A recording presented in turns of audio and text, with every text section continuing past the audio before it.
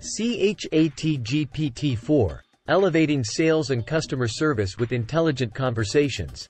Building a sales and customer service chatbot with CHAT-GPT-4 involves combining natural language understanding, response generation, and integration with relevant systems. Here's an overview of the steps involved. Define the chatbot's scope and goals. Determine the specific tasks and functionalities your chatbot will handle. For example, it could assist with product inquiries, order tracking, FAQs, and basic troubleshooting. Collect and pre-process data. Gather a dataset of customer interactions, including inquiries, responses, and outcomes. Pre-process and clean the data to ensure it's in a suitable format for training. Train CHAT-GPT-4. Fine-tune the CHAT-GPT-4 model on your dataset using techniques like supervised learning. You'll need to provide paired examples of customer queries and appropriate responses for the model to learn from. Implement Natural Language Understanding, NLU. Develop an NLU component to extract relevant information from user queries. This could involve techniques like intent recognition, entity extraction, and sentiment analysis. Popular tools for NLU include Dialogflow, Rasa, or custom-built solutions.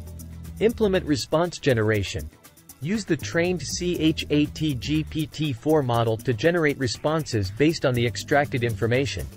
Take into account the context of the conversation and provide helpful and accurate replies. Integrate with back-end systems.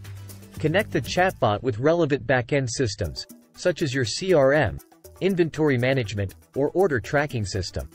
This integration allows the chatbot to retrieve and update customer information, check order statuses, and provide personalized assistance.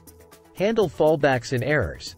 Create a fallback mechanism to handle cases where the chatbot doesn't understand or can't provide a satisfactory response. It can gracefully redirect the user to a human agent or ask for clarification.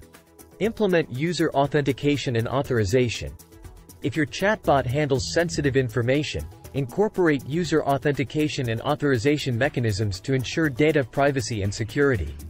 Test and iterate. Thoroughly test the chatbot across different scenarios and user inputs to identify and fix any issues or limitations. Continuously iterate and improve the chatbot's performance based on user feedback and real-world usage. Deploy and monitor. Deploy the chatbot on your desired platform, such as a website or messaging platforms like Facebook Messenger or Slack. Monitor its performance and collect user feedback to further refine and enhance the chatbot over time. Remember that building an effective sales and customer service chatbot requires ongoing maintenance and updates to ensure it remains accurate, helpful, and aligned with your business goals. Please share, like and subscribe to support the channel.